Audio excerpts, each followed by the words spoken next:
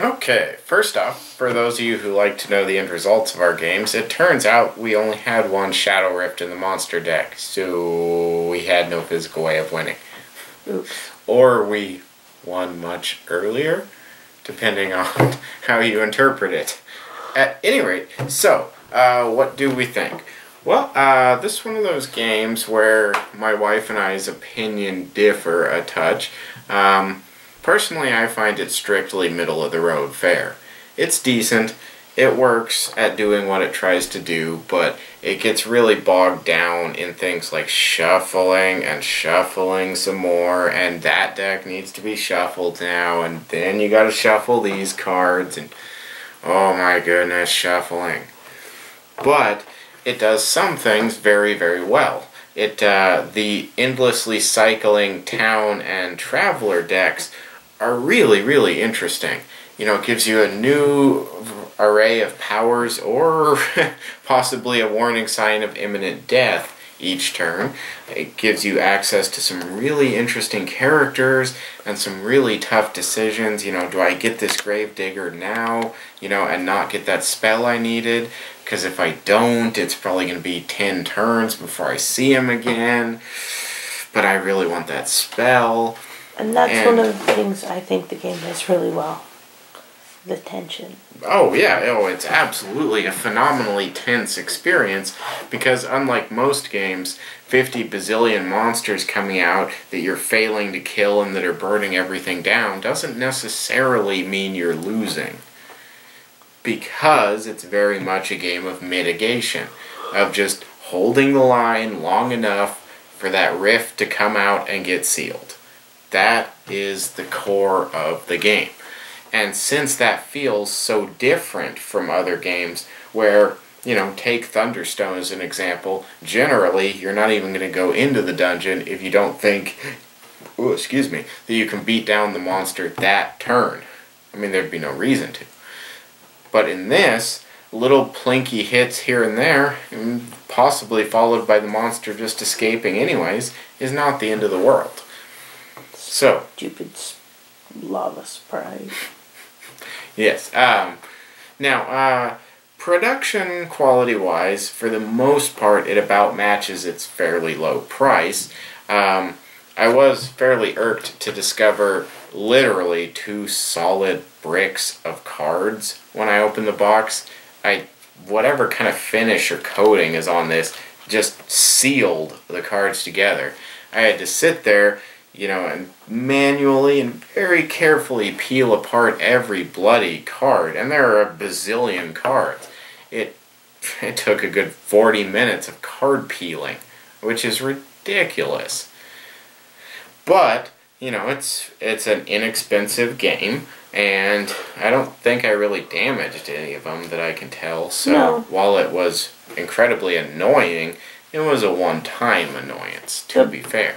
The Okay. black borders are going to start showing shuffleware if we don't cart, uh, sleeve them. Yeah, it happens. Yeah. You like it enough, we're probably not trading it, so. No. Now, so what do you like so much about it? Um, I like that we're working together. So you have to communicate. You can't just sit there and play solitaire next to a person. You have to be like, oh, hey, I'm going to get this guy. Do you need him more than me? So there's some legit communication going on that I Mhm. really enjoy. Um, I enjoy the continuous tension. Like, we're burning the village. The village is full of corpses. Oh no. We should build a wall. Hmm There's always more options than actual. Is this a choices. Resident Evil keep the corpses in wall, or what's the plan? No, the wall is to block the thing so that the corpses stop building up. So that we can sit in peace with our festering corpse lined streets? Yes, Yeah. we like corpses. I'm gonna say no to the wall. um, no, and um, one of the ways, uh, well, I mentioned one way to win. There's actually two ways to win. I totally forgot. If you build all of the walls, then you know, and get them all into the deck, then you also win.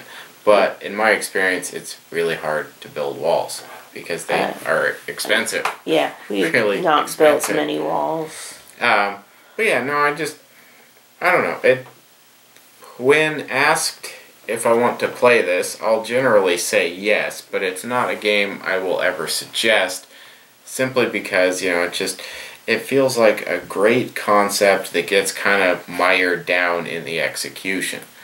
Uh, you know, I'd much rather play something like Thunderstone, where I'm just shuffling my deck occasionally, and that's about all I have to worry about with the little minutia of it. Yeah, the shuffling is a downside, but it's Plus the leveling cards. You gotta admit the leveling cards are cool. yeah, leveling cards. Well, anyway, this is not a summary of Thunderstone.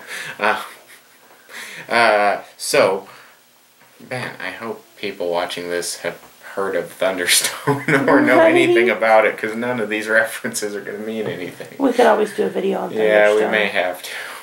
Well, stay tuned for Thunderstone.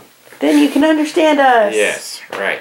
Anyway, um, so anything else you wanted to add there? Yep, I think we covered most of it. Now, for those of you who just care about the game, feel free to turn off the video now and you know go about your peaceful lives.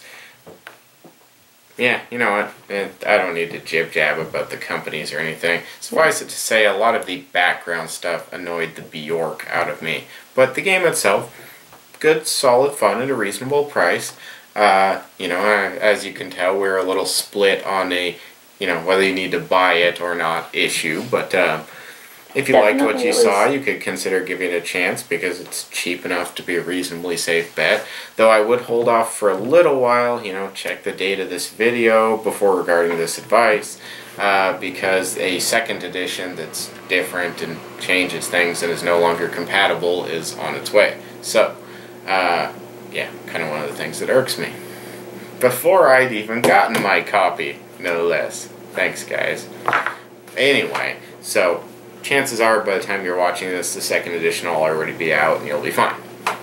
So yeah, that should about cover it, I think. Um, yeah.